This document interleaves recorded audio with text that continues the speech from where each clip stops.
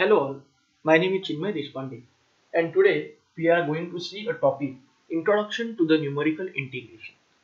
Basically what is numerical integration? Numerical integration is nothing but area under the curve. We can define it as the definite integral integration x0 to xn f of x dx represents the area between the curve y equal to f of x. The ordinates from x equal to x0 to x equal to xn and x-axis when the function y equal to f of x is the integral infinite term as shown in the figure. So now if you observe this figure, it consists, this is what is the area in between limit x0 to xn. So the process of evaluating the definite integral from a set of tabulated values of the integrand f of x which is not known explicitly is called as numerical integration. In a simple way, you can say that numerical integration is nothing but area under the curve. Now most problem, most probably in uh, engineering and sciences, several times the integration, integration x0 to xn f of x dx is required but y equal to f of x is unknown and only we know the points that is x1 y1 x2 y2 up to xi y prime where i stands for 0 to n so in such cases the numerical integration enables to compute the definite integral i equal to integration x0 to xn f of x dx for a given data points numerical integration is also helpful to calculate approximate area under the curve y equal to f of x from x equal to x0 and x equal to xn and x-axis.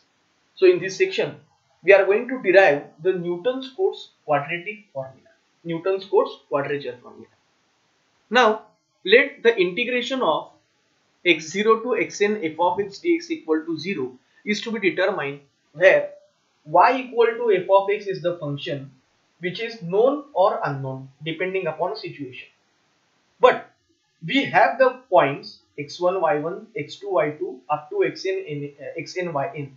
These are the known values for a given function y equal to f of x. Now, here x is equally spaced. What is equally spaced? Distance between the values is same or we can say that. For example, let's take an example of equally spaced. Suppose we have the values of x 0, 5, 10, 15.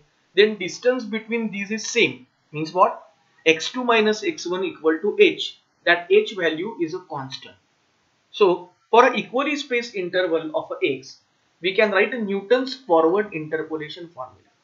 It is given by y equal to f of x equal to y0 plus p delta y0 plus p into p minus 1 upon 2 factorial del square y0 up to. This is what is your first equation where p equal to what x minus x0 upon h where h is the spacing and x0 is nothing but the value that we have to find out. Now I can write this equation as x minus x0 equal to h into p. Differentiate this equation with respect to x. So what you will get? Now x0 is the constant value. So therefore after differentiating it will be 0. So when we differentiate this equation I will get dx equal to h into dp. Let us assume this is your equation number 2 now what we have to do? I i want to find out integration of f of x dx. Here y is nothing but f of x. Means what? I need to take integration of this equation so therefore here i have written integration in between limits x0 to xn f of x equal to integration x0 to xn whatever right side is there the same right side i have written here but it is observed that from above equation dx equal to h into dp. So in place of dx I can write h into dp. So therefore there will be a change in the equation f of x equal to integration 0 to n h y0 plus p into delta y0 plus p into p minus 1 upon 2 factorial and remaining formula into dp. Okay. Now what to do? Now here h is outside now I will multiply these terms. So y0 plus p delta y0 p into bracket p minus 1 means what? p square minus p upon 2 factorial means 2. If I multiply the numerator of these, I will get p cube minus 3p square plus 2p upon 3 factorial is 6 into dp. Now what I am going to do? I am going to perform integration on right hand side. So integrate right hand side and substituting upper limit directly I am going to write, write this step h as it is. Now y0 integration dp. Integration dp means what? It is a constant. Okay. In, integration 1 dp. So constant integration is what? Yes, there is a some value. So here when we substitute upper limit it becomes n into y0 plus p integration of p delta y0 dp. So I can write delta y0 is the constant integration p dp.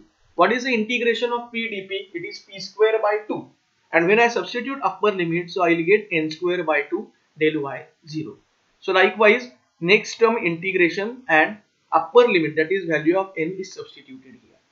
Now from this equation suppose if you observe here in each and every term there is a n value.